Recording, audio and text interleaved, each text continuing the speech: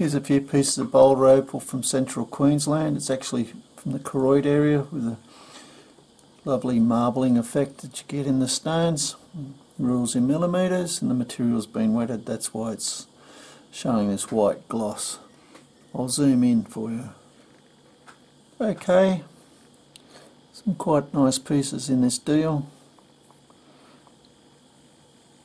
Beautiful purples. Thick enough to stay in one piece I think.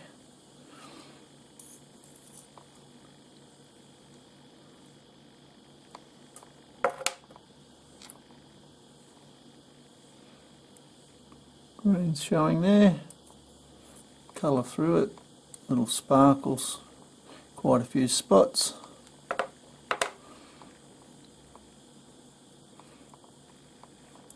Colour through a lot of this. Side sloping down there so there's your pendant. Probably that's going to be a bit soft to polish quite a nice piece, quite thick. Opal on the end there, just a very thin possible bar of colour there. Something like this, grind down, use that as a top, grind down to that. You might find some a little layer of opal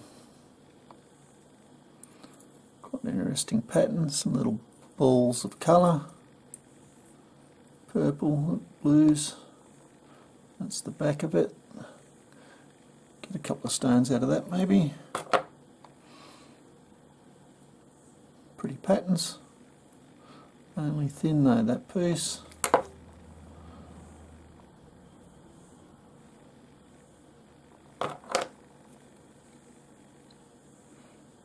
Purples, greens, a small piece but make a nice little stone. Interesting pattern, colour, bit of fire in the potch. But, uh,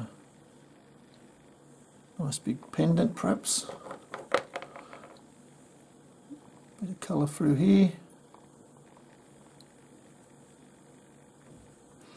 I hope you've enjoyed. Cheers.